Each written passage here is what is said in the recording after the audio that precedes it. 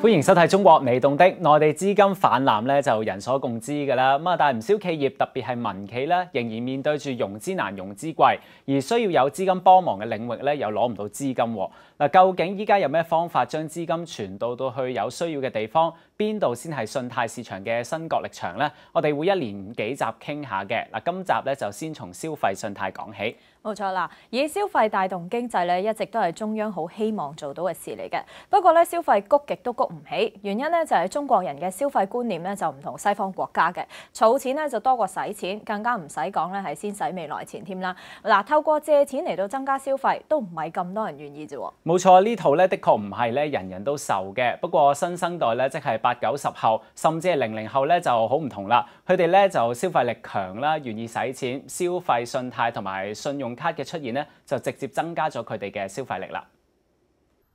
用信用卡消費喺大部分內地人嚟講，仍然係新鮮事。黃小姐舊年先至申請第一張信用卡，而家有三分一嘅消費額都係碌卡。因為有信用卡，所以刷的時候就 刷就很就很快的就刷完了。就有一种概念就，就好像我有那个信用卡之后，那我一个月就好像多了这么多钱可以用，就不会像之前花钱时那么考虑的多了。比方说，如果是之前，呃，一千块钱的一个一个东西，我会考虑啊，这一下刷完之后，储蓄卡里面钱就就就一下就少很多。那那有信用卡就直接刷咯。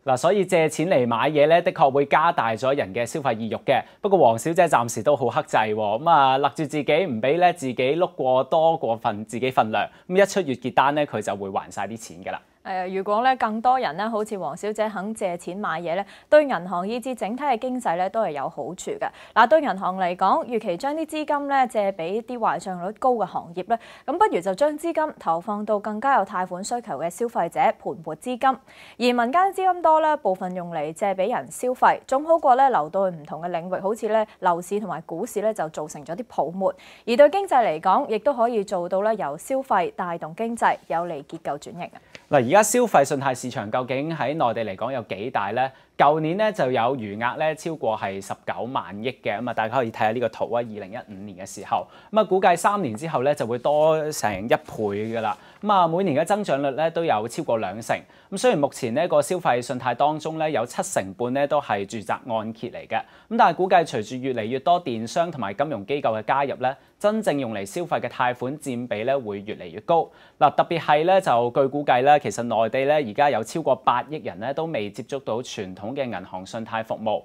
咁所以估計市場空間咧係增長咧係可以非常之大嘅。嗯，嗱、呢個市場咧就越嚟越多電商同埋金融機構加入咧，主要就係因為中央咧都好支持發展消費信貸嘅。嗱，舊年國務院咧就將消費金融公司試點放寬到全國之後咧，人行同埋銀監會咧係今年三月底咧都出咗一份指導意見，就鼓勵銀行同埋其他金融機構咧成立消費貸款公司，以互聯網等等嘅創新方式咧加大對新經濟產業。好似旅遊啊、文化體育啊、養老健康同埋網絡消費等等咧，係有支持㗎。嗱，唔止喎，咁啊好多民間資金咧都希望喺呢個市場分一杯羹噶。咁啊近大半年啦，好多電商同埋 P to P 平台咧都搞啲消費貸款公司嘅，提供一筆過或者係分期付款。其中呢啲電商都好積極喎，譬如咧騰訊旗下嘅京東啦，咁佢哋咧就有個服務叫京東白條，大家可以睇下啲片啦。呢度就係佢哋嗰個購物網站啦，佢哋都係標榜先消費後付款。咁啊超過五成嘅交易咧，佢哋話而家都有用到咧呢個白條嘅。而譬如一啲新手機嘅發行啦，而家嗰個發售咧，好多人咧都係用緊呢一個服務。至於蘇寧方面啊，咁啊佢哋都有咧呢啲誒服務叫做任性付，標榜咧信用卡都唔使俾。咁啊買家電啊、家居裝修嘅時候咧，可以三十日內咧分期貸款或者分期，最多就可以借二十萬。咁啊，蘇寧話咧，其實今年上半年咧，佢哋喺節慶日子嗰個訂單量咧都已經升咗十倍。咁所以咧，呢啲服務咧，的確可以增加咗個消費㗎。咁啊，另外其其他嘅電商好似百度啊，以至係誒螞蟻金服等等咧，其實都有差唔多嘅服務咧，都係俾到出嚟嘅。嗯，嗱，見到咧呢一啲購物網站咧，對象當然就係以年輕人為主啦。好多宣傳都寫明咧係針對一啲大學生㗎。咁啊，一啲咧購物網站，例如係愛學貸啊、優分期等等咧，見到好多咧都係以電子產品，好似手機啊、電腦或者係名牌手袋呢一啲年青人咧最中意嘅產品為主。咁啊，分期日供幾蚊咧就可以啦，而月供咧幾百蚊都一樣買到喎。係啊，咁所以俾好少錢咧就買到好多嘢啦。咁啊，佢哋咧唔單止分期，借錢去誒、買一啲電子產品等等啦。其實咧旅行啊都可以嘅，或者咧係一啲演唱會都可以分期。咁啊，譬如咧就係、是、誒、或者正經一啲啦，睇一啲增值可以增值自己嘅服務，譬如睇到呢啲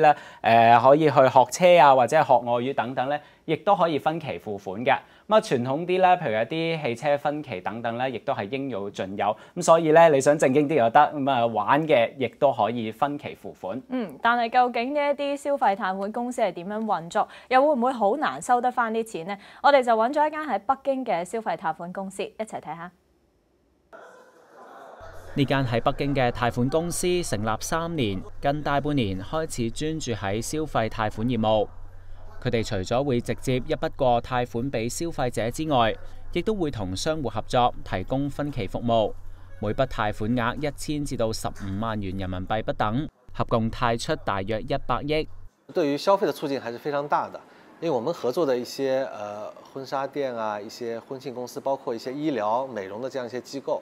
呃，他们的客户往往是比较年轻的人，他们的支付能力不强。啊，比如说一个呃婚纱照，他可能需要一万块钱，他但是他可能想需要那个两万的套餐，所以那个时候呢，我们就可以直接给他做一个分期，你在未来几个月慢慢来偿还就可以了。佢嘅客户多数系二十至三十五岁，嚟自三四线城市嘅白领同埋公务员。佢话呢批人消费能力强，加上全国仍然有八亿人未接触到无抵押贷款。相信日后市場需求相當大。不過，內地目前未有統一嘅個人信貸記錄系統，難以得知個別客戶嘅信貸狀況。面對壞帳風險增加，公司要自行研發系統嚟判斷係咪批出貸款。比如說，這個人喜歡啊玩遊戲，或者說這個人喜歡在半夜兩三點的時候買東西，啊或者打電話，啊那這個人可能壞帳會相對高一些。或者說他離婚了，啊或者說他在呃，這個城市裏面，他只待了一年，比較短的時間，啊，那這種人壞賬率，呃，可能會相對高一些，但也要跟其他的一些，它的其他的一些呃特征、一些一些數據來綜合來判斷。佢唔願意透露目前嘅壞賬率有幾多，但指已經較三年前減低咗一半。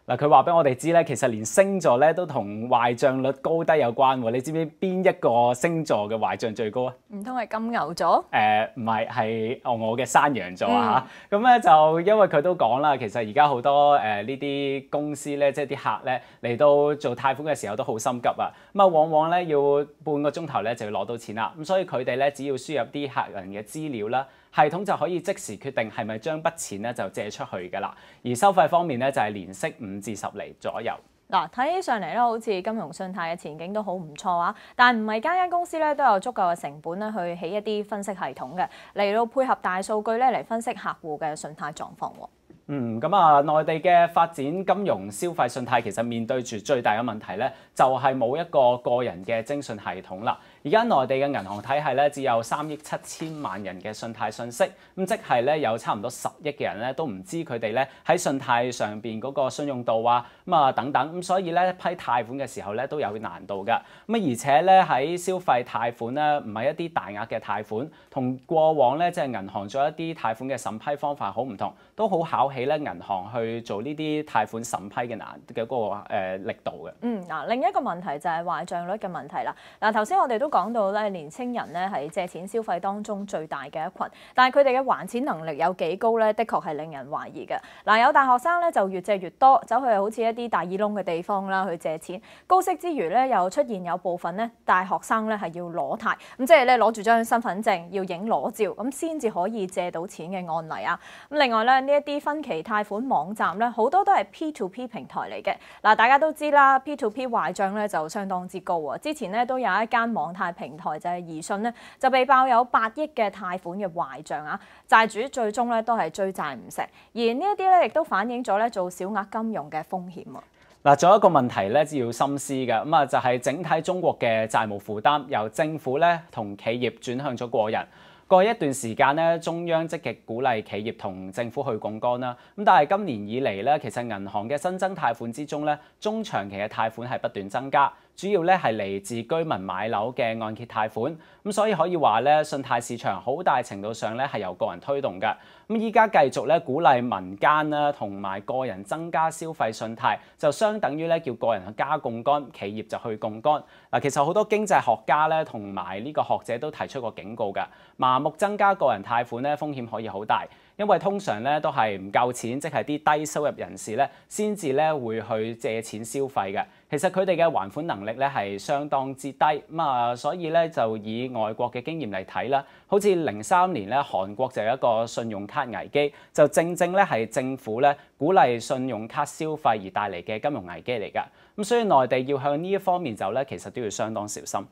冇錯啊！而家咧內地仲越嚟越多人咧係借好多錢去買樓，咁究竟會唔會超出佢哋嘅負擔範圍啦？又令到咧壞帳越嚟越多，消費能力又越嚟越弱咧？似乎咧監管部門真係要睇實一啲啊！咁今集中國你懂的咧嚟到呢度啦。